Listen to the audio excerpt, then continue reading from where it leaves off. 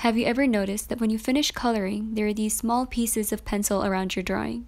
Well, if you want to get rid of them without smudging them like this, then just use masking tape to pick up the pieces.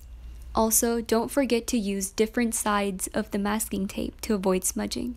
This will leave you with a clean sheet of paper without any of those extra pieces. And that is it. If you like this video, please subscribe.